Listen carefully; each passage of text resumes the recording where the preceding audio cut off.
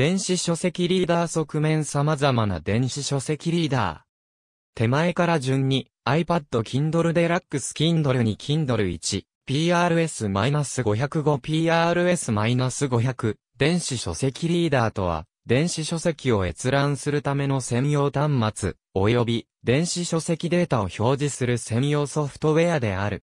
電子ブックリーダー、電子書籍ビューワー、電子書籍専用端末、デジタルブックリーダー、e ブックリーダーとも呼ばれる。英語ではこの他に、エリーダーという故障もある。講義で言うと、電子辞書も、国語辞典や英和辞書などの電子コンテンツを閲覧するための専用端末ということで、電子書籍リーダーの一部であるとみなせる。電子書籍とは、古くより存在する紙とインクを利用した印刷物ではなく、電子機器のディスプレイで読める電子データである。米国では Amazon.com の Kindle に代表される専用端末や汎用端末に電子書籍用ソフトウェアを追加して読めるコンテンツが広がりつつある。電子書籍のコンテンツの多くは、すでに出版された紙の書籍の情報をデジタルな文字情報や必要ならば、挿絵をデジタル画像情報へ変換して、所定のフォーマットの電子ファイルにすることで、印刷、製本、流通のコストや小スペース性を図ったものである。このコンテンツには、有料のものと無料のものがあり、以前は記録メディアに保存して販売されることが主流であったが、インターネットインフラの普及により、今では多くが無線、有線のネットワークを経由してのダウンロード販売によるコンテンツの入手が一般的となり、電子機器の画面上に表示させて読む。また紙の書籍では、不可能なハイパーリンク、動画、音声、振動などを併用したコンテンツも存在することで、インタラクティブなコンテンツが作成できるのも特徴である。3G の無線通信機能を備えた Amazon Kindle 登場の以前と以後では大きく性能が変わっていることが特色で、端末の通信機能により、手軽にコンテンツを供給できるプラットフォームを構築した Amazon の Kindle ストアにおいては、電子版の売り上げが対紙版比で飛躍的に向上しているとされる。これまでは爆発的な普及という領域には至らなかったが、2007年9月に発売された Kindle 3は 3G 通信機能と膨大な蔵書を要した Kindle ストアと呼ばれるオンライン配信サイトを設置し、音楽、映像配信分野で Apple が iTunes ストアで見せたような垂直統合型と呼ばれるビジネスモデルを完成させたため、米国では利用者が激増した。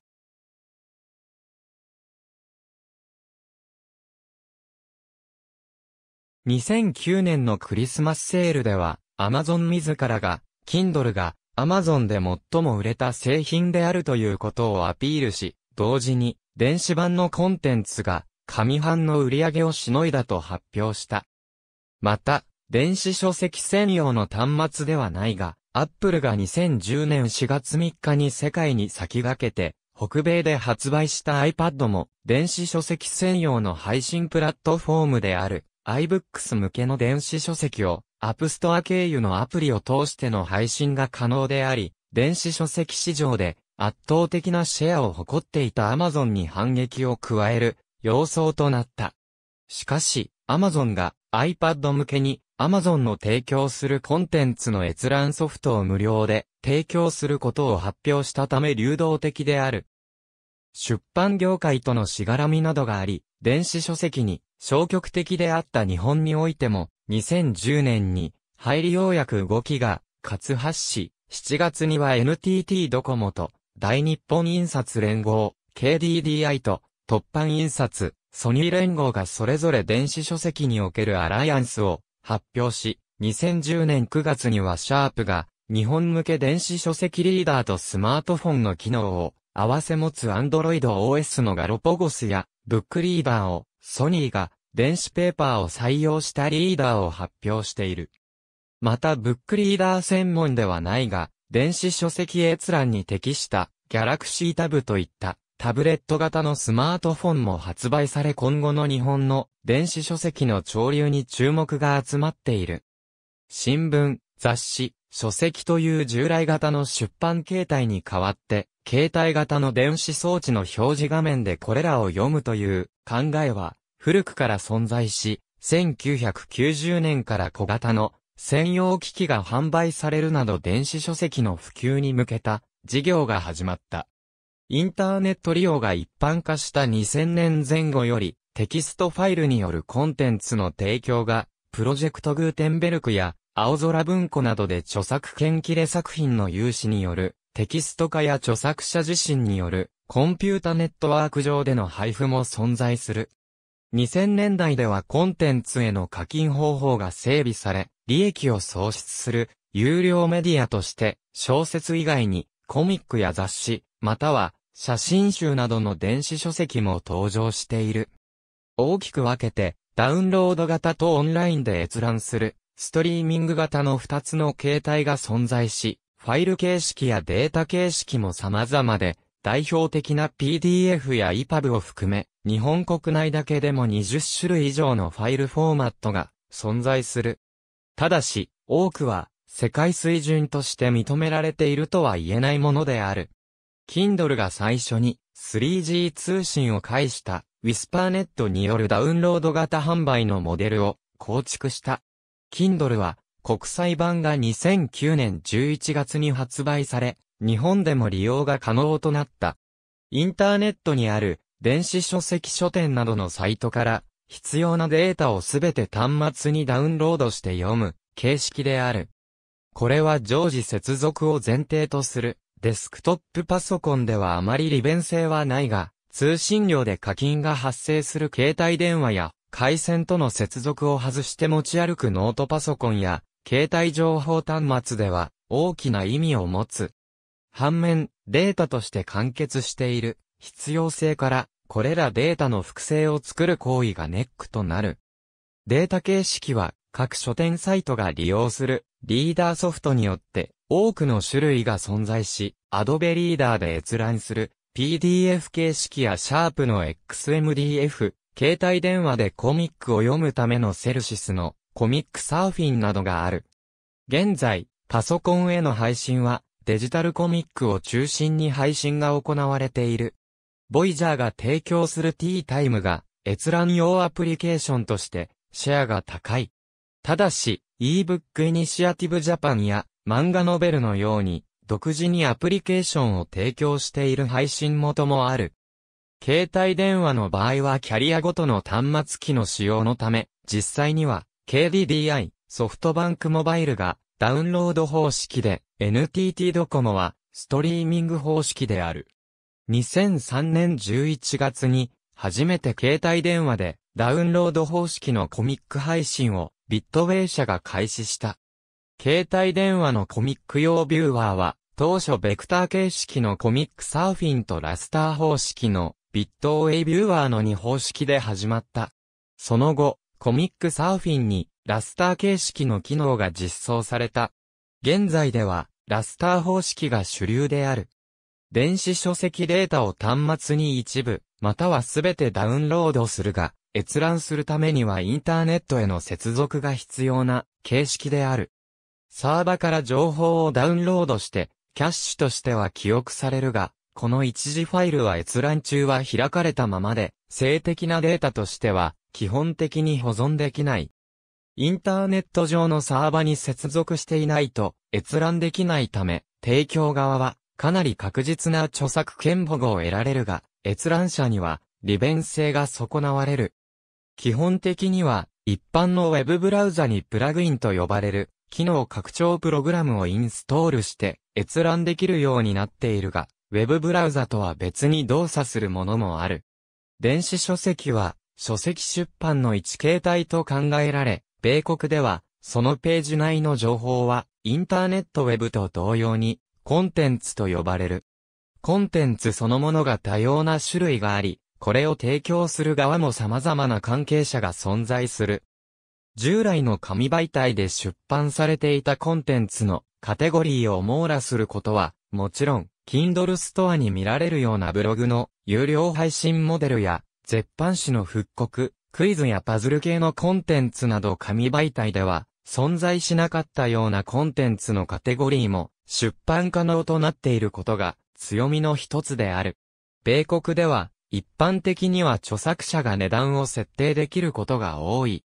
Kindle ストアでは著者は99セント200ドルまでの間で2位の数字を倍価として設定できるようになっている。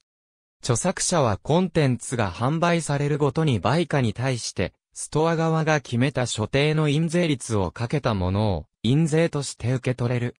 Kindle ストアでは通常月末の45日から60日といったサイクルで印税が支払われる。そのため紙出版よりも、はるかに早く印税を回収できる。コンテンツの多くは、紙媒体での出版を前提とした契約下で関係者が制作に携わったものであり、その電子化と公開ではそれら関係者の利権が絡み合い、デジタル情報ゆえに新たな契約が対象とする配布媒体、データ形態の範囲がわかりにくいなど、コンテンツの電子化にも技術面以外の様々なハードルが存在している。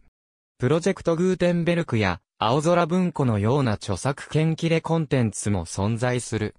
著作権切れの書籍などをデジタル情報による無料コンテンツへ加工する作業は、ボランティアや無償提供目的の公益の事業などが行っている。これらの著作権切れコンテンツを自社のファイル形式に変換して無料で提供する商業的電子書籍流通網も少なくない。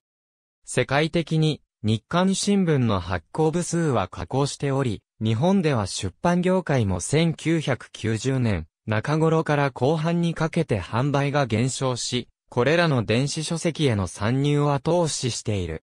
公立図書館では2002年、北海道岩見沢市立図書館が電子書籍の閲覧サービスを始めたが、需要が少なかったため、書店の指定した2ヶ月の無償での施行の後、取り留めとなった。2005年から奈良県生駒市立図書館が電子書籍端末、リブリエによる電子書籍の閲覧、貸し出しサービスを行っている。近年向上した技術として以下のものが挙げられる。特に電子書籍専用端末に向いた最新技術には新たな種類の電子ペーパーがあり、これまで以上に省電力で高コントラストの表示が実現するとされる。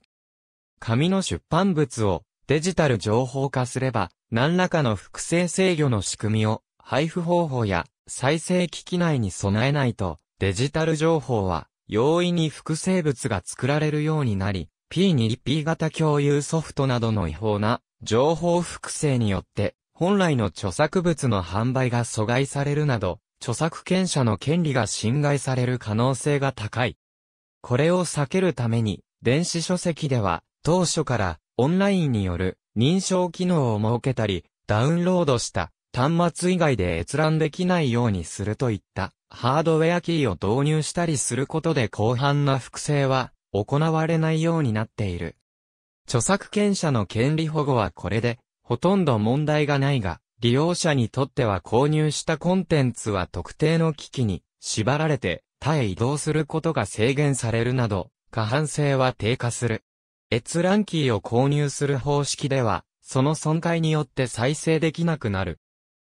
しかし2010年代に入りクラウド化が急速に進み、利用者は購入した書籍を電子書籍流通会社の書庫に保存できるだけでなく、読み出しのための鍵も端末が損傷するなどして使えなくなっても、電子書籍流通会社のウェブサイトで書籍に購入と同じ程度の簡単な認証で他の端末に移動できたり、もともと同じアカウントを使用するように設定した一定数までの複数の端末で同時の読書を認めるなど、回し読みが可能な紙の書籍と同程度もしくはより優れた利便さへの改善が進んでいる。